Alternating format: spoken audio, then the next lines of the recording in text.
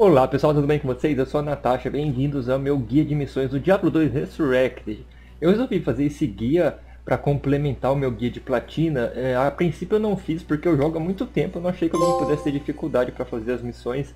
Mas eu sei que algumas pessoas que são novatas principalmente não sabem fazer todas, então eu vou mostrar para vocês como fazer cada uma dividido por ato. Então esse é do ato 1. Eu fiz já a maioria das missões, mas eu vou mostrar como fazer, tá? Então, para a primeira missão aqui, né, Covil do Mal, você ativa ela falando com a cara a primeira vez, mas não é necessário que você converse com ela. Você pode simplesmente ir até lá. Eu tô aqui com meu personagem level 94, né, para mais fácil. E aí aqui você precisa matar todos os inimigos, tá? Quando você matar todos os inimigos, e aí toma um pouquinho de cuidado que tem esses xamãs aqui que ressuscitam os carinhas, né? E aí quando você terminar de matar todos os inimigos, você é, é, uma luz vai vai iluminar melhor a caverna para você ter certeza de que você matou todos e também é, quando tiver pouquinho vai mostrar a contagem dos que estão faltando.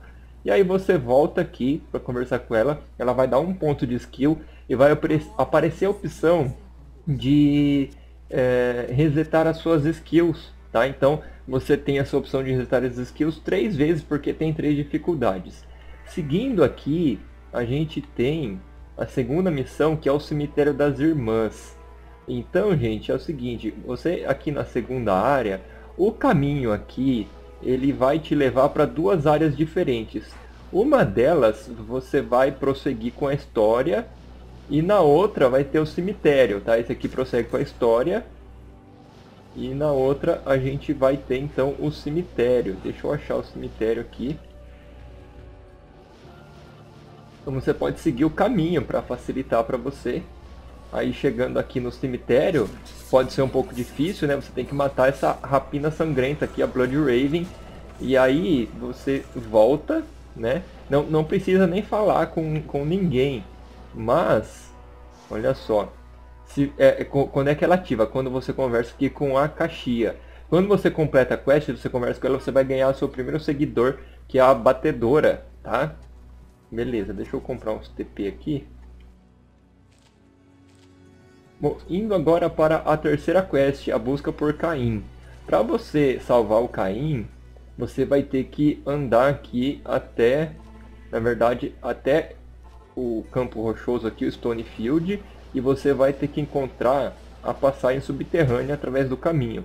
Você encontrando a passagem subterrânea, a saída dela vai ser lá deixa eu dar um TP, vai sair lá na, na outra área, que é a Floresta Sombria, tá? Então, você vai sair e também ali através da caverna, e aí você tem que encontrar essa árvore, ela vai estar guardada por esses brutamontes aqui. Você vem aqui na árvore, interage com a árvore, vai cair um pergaminho. Com posse desse pergaminho, você vem até aqui na cara, conversa com ela, ela vai decifrar o pergaminho, vai atualizar a quest e se você abrir o pergaminho ele vai falar uma ordem que você tem que apertar as pedras aqui no campo rochoso. Que por acaso eu já vi aqui no meu mapa onde estão as pedras.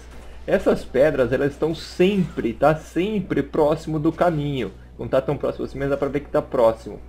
Aí, não necessariamente você tem que ler o pergaminho, mas você tem que ativar as pedras na ordem correta. Ativando as pedras vai abrir esse portal para Tristram.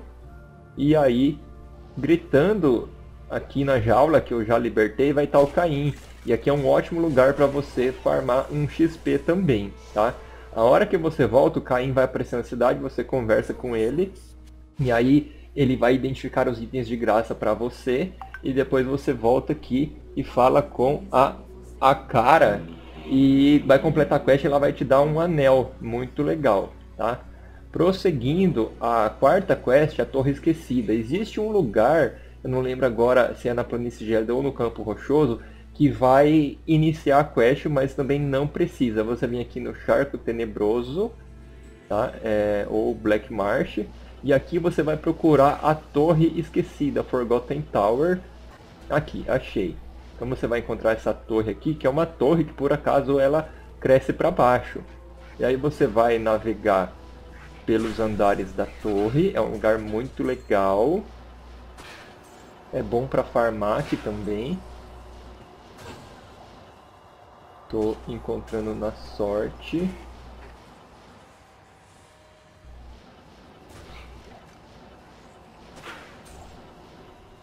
Beleza, você chegando no nível 5, aqui no final você vai encontrar o, a mulherzinha aqui, deixa eu ver o nome aqui, a Condessa, Countess, e isso vai completar a quest. É, a Condessa, ela quase sempre vai dropar uma runa, tá? runa aqui, tá bom? Então é interessante, quase sempre ela vai dropar uma runa pra você, tá legal?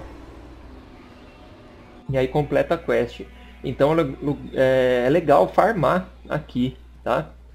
Próxima missão, ferramentas do ofício. Essa daqui, quando você chegar aqui no claustro externo, isso, claustro externo, você vai adentrando aqui na área, é, aqui ó, dessa parte, é nem sempre você vai encontrar o caminho certinho, tá? E aí aqui você vai encontrar o ferreiro, que é um minotauro. Aí aqui ó, não precisa matar ele, mas ele vai te dar trabalho. Você vai interagir aqui com essa forja, que tá vendo tem um desenho no mapa do martelinho. Vai cair um martelinho, você pega o martelinho. E aí você vem aqui e entrega o martelinho para Charce. E aí vai ficar assim a sua missão, ó. Charles imbuirá um item com poder mágico. Para você completar, não precisa, tá? Mas para você completar, você pode comprar algum item. Eu vou comprar um item aqui, ó. Ele tem que ser é, um item normal, de texto branco, tá? E aí é legal que você, é, você usa aqui a opção imbuir. Você vai, vai ganhar um item raro. Então pode te ajudar. Escolha bem o item que você vai fazer.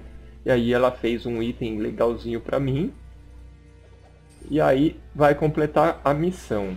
A última, por incrível que pareça, é a única que realmente você precisa fazer aqui no ato 1, tá? Que é matar o chefe, a Andariel. Então você poderia ir direto para lá.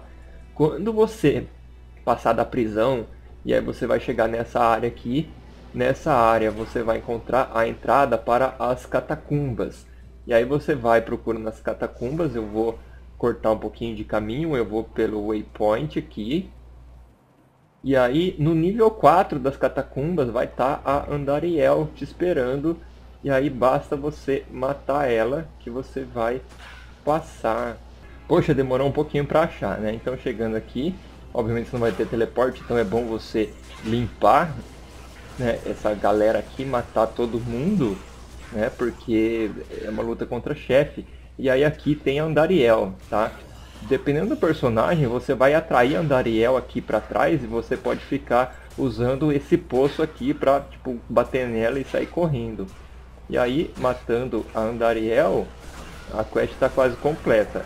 Então, o que, que, vai acontecer? Depois de um tempo, vai abrir um portal, mas você pode abrir o seu próprio portal. Aí você vai conversar ali com a galera, não lembro, com o Caim, acho que tem que falar, a cara, eu não lembro. Mas no final você conversa com o Arrive e ele vai dar a opção para ir para o leste, para você ir para o próximo ato. E aí são as missões do ato 1, beleza? Então deixa seu like se ajudou, se inscreva no canal se não é inscrito ainda e até a próxima!